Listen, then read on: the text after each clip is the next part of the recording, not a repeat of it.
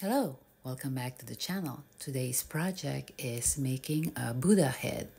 It's made of uh, stoneware, slab rolled, pinched to shape like a oval or egg shape and to form into the face of Buddha. Thanks for watching. So my style of sculpting is a free-flowing sculpting. The goal is making sure inside is hollow. I always start thick slab. One inch is ideal in the beginning because I know I will thin them out later anyway. So I do uh, use heat gun to make it uh, stronger and to avoid collapsing. So piece by piece, I will add the top of the head, make sure it's uh, on a uh, rounder side or shape so I can uh, easily shape them for sculpting later.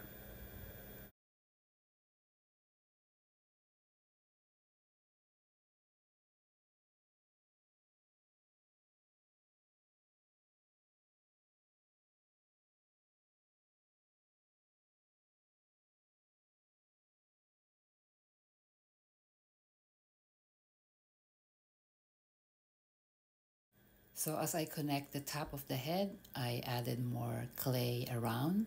It's uh, by feel, I usually add coil, I add uh, chunks of clay just to get that uh, shape of the head.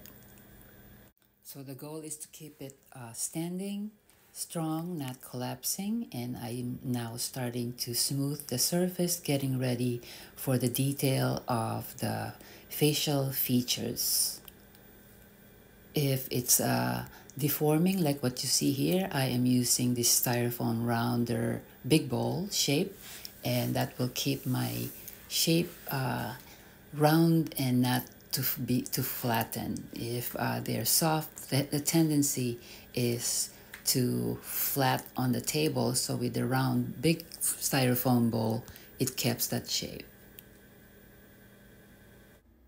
so you see me hollowing out the bottom of the piece uh, and then I added the next dome to add the height of the head. So that's my technique. I, I uh, keep reattaching whatever is needed on top and once I know they're secure, I will reopen it, check the thickness and then once I know I'm satisfied with the height, that will be my final height and uh, start smoothing the surface so I can add the detail of the face. So that's about it. This will be the first part of this video and hopefully I can make the next next video for you to watch. Again, thanks for watching. This is Set Gozo from Set Gozo Artist Corner.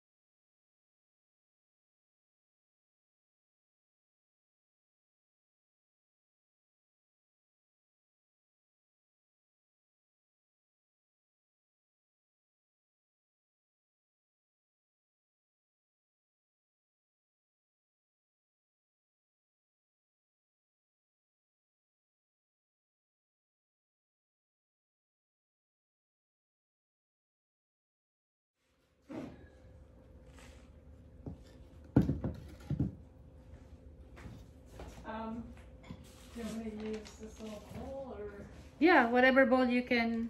is this one okay? This little white one or is this Uh, one? this one.